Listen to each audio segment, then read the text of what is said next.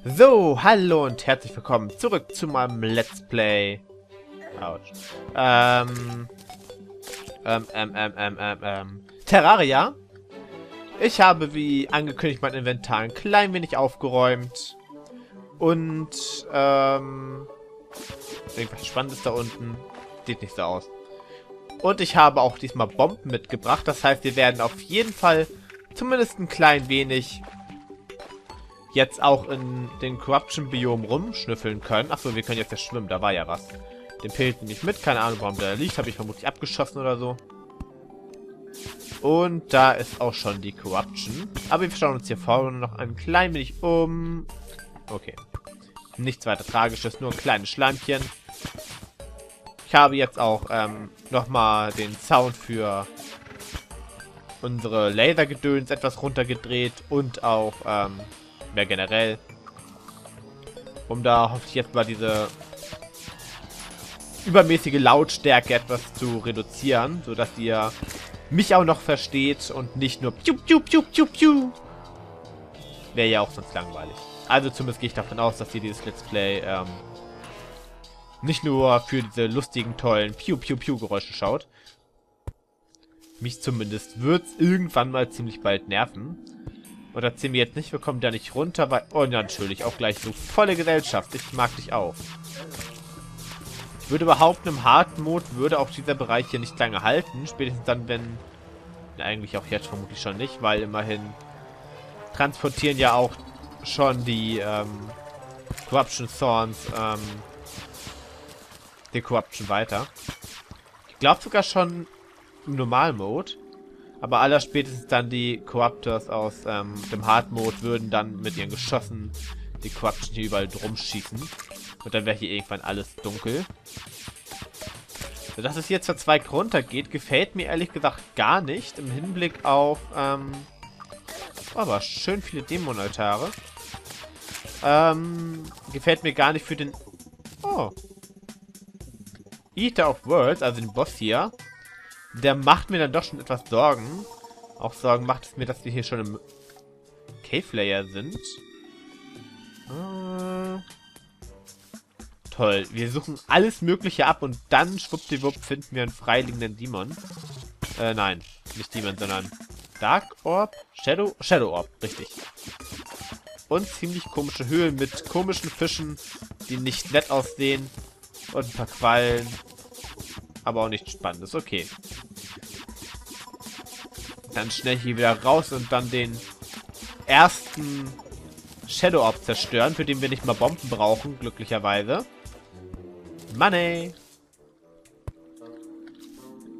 Ist ein komischer Aufbau, ne? Also so, so habe ich Corruption noch nie gesehen, wenn ich ehrlich bin. Okay, ich habe jetzt aber auch noch nicht so viele gesehen. Also Corruption Biome überhaupt.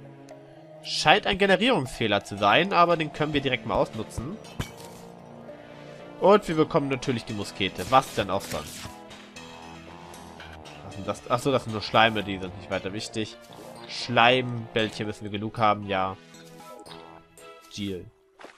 Kommt dasselbe hinaus. So, jetzt hätte ich aber gerne einen etwas bequemeren. Oh, da sind Tränke drin. Welcher ist das? Jill's Potion. Ähm, bringt mir ja wenig.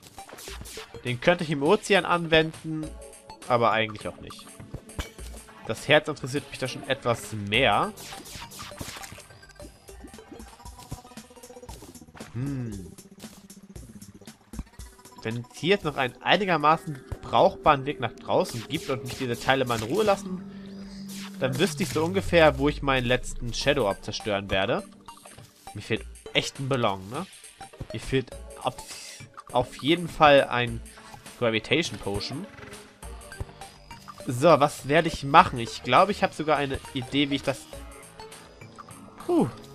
Wie ich das Ganze insgesamt aufziehen werde. Und zwar... Finden wir hier eine Sternschnuppe. Okay. Kann man mal mitnehmen. Gut. Ähm... Oh Gott, ich sehe nichts. Na, ich habe mir mit der Tageszeit keine gute ausgesucht, das muss ich zugeben. So, jetzt nehmen wir erst einmal den so mit, denn das Herz haben wir jetzt ja schon. Also ich brauche auf jeden Fall einen etwas breiteren Streifen. Ich wusste doch, der lebt noch. Da fiel kein Geld vom Himmel. Den ich am liebsten noch überdachen möchte, um nicht die ganze Zeit von diesen Eater of Souls ähm, permanent angegriffen zu werden. Aber es muss in einer vernünftigen Ra Höhe zum Erdboden sein. Das sollte reichen. Na, muss ich die jetzt tatsächlich abbauen? Ich habe herzlich wenig Lust, Bäume abzubauen, weil die bringen, geben mir, glaube ich, Shadewood. Ist nochmal eine andere Holzart und blockiert damit einen Inventarplatz.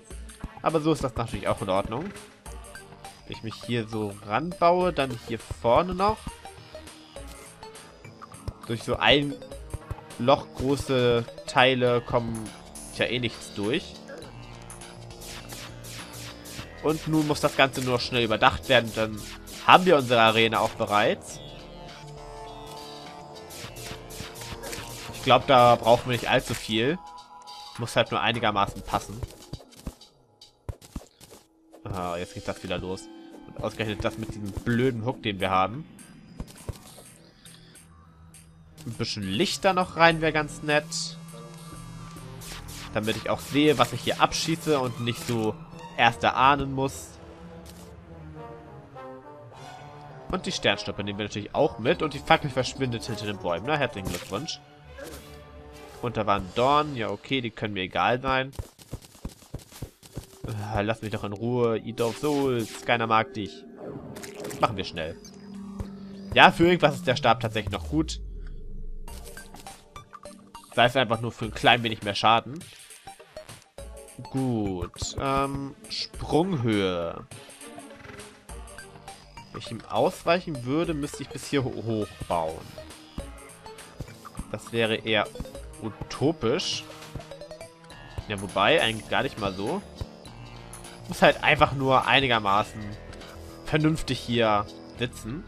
Und die Sternenmaschine mitnehmen. Vielleicht kann man sie ja nochmal brauchen. Ich wüsste zwar nicht wofür. Aber okay. Lieber ein Stern zu viel als ein zu wenig. Lasst mich alle in Ruhe. Ich kann sie aber auch einfach nicht ignorieren, weil wir einfach noch überhaupt nicht stark genug sind. Alter Schwede. Deswegen möchte ich sie auch nicht dabei haben, wenn wir gegen den...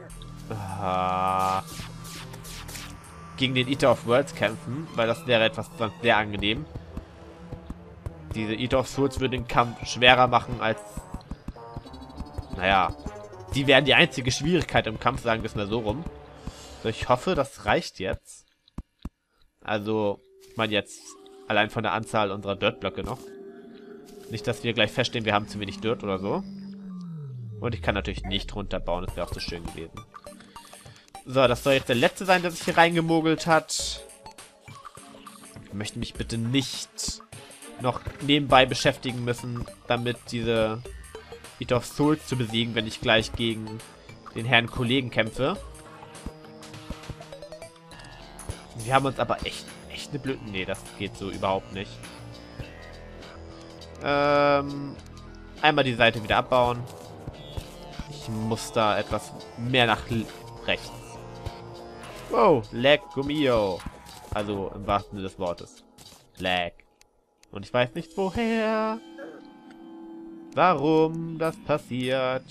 Ich weiß nur, dass mir währenddessen diese blöden Eater Souls auf den Schnürsenkel gehen und diese blöden Augen nebenbei auch. So, wieder beruhigt. Danke. Dann kann ich jetzt ja in Ruhe weiterbauen.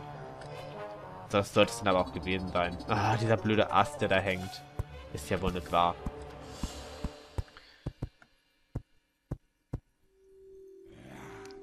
Gut. Irgendwas Wichtiges noch? Nö. Hier einfach... Na, okay, wenn ich da schnell reinspringe will, sollte ich vielleicht noch ein klein wenig mehr abbauen. So. Dann kann ich das hinterher ergänzen. Der Wurm braucht ja eh noch eine halbe Unendlichkeit, bis er dann so voll einsatzfähig auf uns zustürmt. Und ich weiß gerade ehrlich gesagt nicht, was dieses Lecken macht. Na, was macht schon, aber woher es kommt. Autsch. Oh. Oh wow, oh wow, oh wow. Ja. Okay. Dann nächster Versuch. Kohle gleich wieder einsammeln. Und dann auch gleich mal darauf hoffen, dass wir nicht nur diese blöden Musketen da zu fassen kriegen. Dann endlich mal ein Pfeilzorn. Das wird uns auch beim Eater of Worlds ziemlich weiterhelfen. Denn der Schaden ist jetzt zwar nicht so hoch, aber dadurch, dass diese Waffe dauerhaft ist, also eine ganze Zeit lang anhält und ähm, auch penetriert, macht sie am Eater of Worlds extrem hohen Schaden. Heißt, ich muss gleich nur irgendwie möglichst schnell zur Arena finden. Und ich werde gleich auch ähm, in diesem Zuge die Karte ausschalten. Aber erst einmal hier die entsprechende Shadow Orb irgendwie zertrümmern. So, da unten hätten wir einen. Ähm, da unten hätten wir auch einen, sogar ohne Wasser. Das wäre recht angenehm. Aber dafür bräuchte ich 10.000 Bomben und das ist wiederum etwas unangenehm. Lass mich am besten kurz mal in Ruhe. Ich muss meine Bomben rausholen. Und nun... Oh, ich wusste doch, irgendwas klingt da so nach Wurm. Zum Glück bin ich nicht da stehen geblieben. So, dafür bräuchte ich eine Sticky Bomb. Ansonsten käme ich da nämlich nicht dran. Hm, hier hätten wir einen Shadow Orb, aber den würde ich quasi fluten. Und hier ist nachher der Shadow Orb, an den ich ohnehin ran möchte. Also nicht der dort, sondern der Kollege hier unten.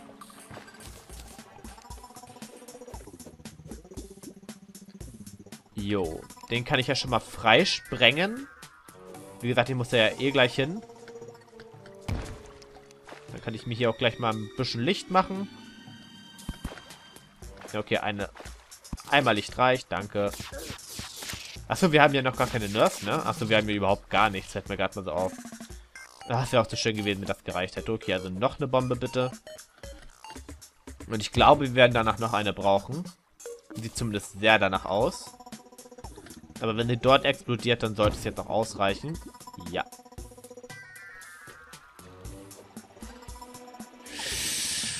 Alter Schwede, ich dachte schon, die rutscht da runter. Dann wäre jetzt nicht endgültig Feierabend gewesen. Also nicht Feierabend, aber dann... Hätten wir unseren Plan etwas umändern müssen, dann hätten wir nämlich nicht, hätten wir nämlich nicht den geraden Weg nach oben nehmen können. So, aber damit haben wir schon mal so unseren wichtigsten Anlaufpunkt fertig. Die Qualle da hinten lasse ich jetzt einfach mal in Ruhe. Ähm, ein Trank, das ist ein Swiftness Potion. Das ist natürlich auch nicht schlecht. Und dann hier nochmal sprengen und dann dürften wir unsere drei Shadow Orbs voll haben. Boom. Das ist eigentlich ganz interessant, ähm, nicht ganz interessant, aber es wäre ganz schön, denn wir würden so die Nightmare Access voll also zusammenkriegen und dann können wir uns das Sprengen ähm, Dingens da sparen. Ist noch im Crimson und alles? Also wir sparen uns schon tatsächlich irgendwie was damit. Fileson! Ah, na bitte. Das Spiel hat uns doch manchmal lieb. So, was ist denn die Verzauberung? Speed? Okay, das ist jetzt nicht so vielleicht das Nonplusultra dieser Welt, aber okay, dafür weniger Mana kosten. Das ist gar nicht so schlecht. Plus 10 Knockback. Das ist eigentlich vollkommen irrelevant. Aber die Schaden, also der Schadensplus ist doch relativ gut. So, dann würde ich sagen, ersetze ich mal den Stab hier dadurch und den Crimson Rod nehmen wir mal hier hin. Wobei werde ich eher mit dem, ja, ich werde eher mit dem Pfeilzorn angreifen, deswegen zack, so. Machen wir das so und dann... Was ich natürlich auch machen könnte, wäre meine Zeit nutzen, um schon mal abzuhauen.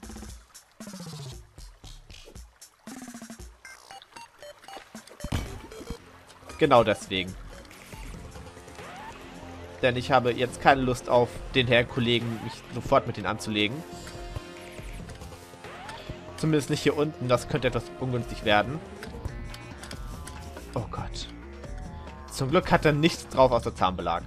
Und der kommt gar nicht mal so hoch, sehe ich gerade. Das macht mir etwas Sorgen. Der kommt echt nicht so hoch, ne? Okay, wir haben mit dem keine zeitliche Begrenzung, soweit ich das weiß. Ah, doch. Das ist doch sehr angenehm.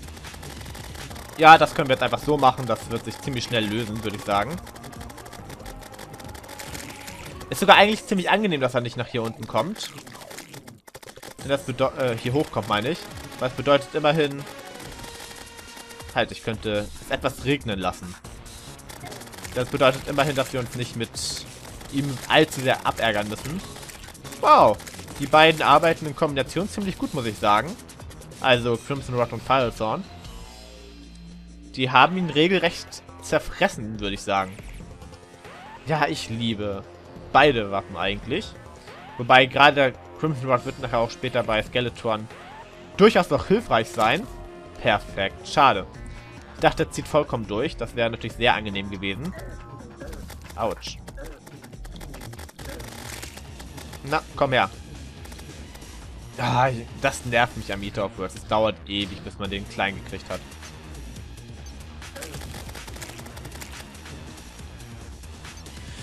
Puh, also der Kampf wird auf jeden Fall nicht problematisch. Es reicht nicht bei unserer Vorbereitung. Ihr seht es selber, der Kampf ist im Grunde genommen ein Scherz. Der tötet sich quasi selber. Aber wenn man das Glück hat, vorher zumindest einen Fallzorn zu erwischen, dann ist dieser Kampf ein Scherz. Einfach, ja, einfach so. Es ist... Er macht sich quasi von allein. Man muss im Grunde genommen nichts weiter machen, außer ab und an mal so einen Pfeilzorn loszulassen. Selbst wenn man nicht auf, mit magischen Waffen generell spielt, ist Eight of Worlds ein Scherz. Und tschüss, das war's auch schon. So, jetzt müssen wir natürlich erstmal die ganze Arena wieder abtragen. Wobei ich jetzt als allererstes erstmal hier alles einsammeln möchte. Bevor ich das nämlich noch irgendwie vergesse und es dann am Ende womöglich weg ist. Ich kenne das ganze ja, wäre mir durchaus zuzutrauen. Gut, dann kann der Kleine auch mal weg. Oh, irgendwas habe ich da abgeschossen.